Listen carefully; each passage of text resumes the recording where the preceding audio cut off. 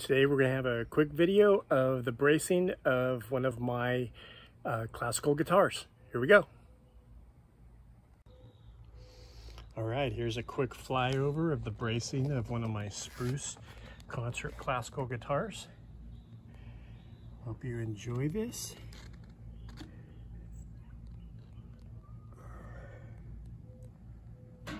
There we go. This is the treble side. This is the bass side. There we go. Hope you enjoyed this morning's video short. Remember to like, share, and subscribe, and ring the bell. We'll see you next video. Bye.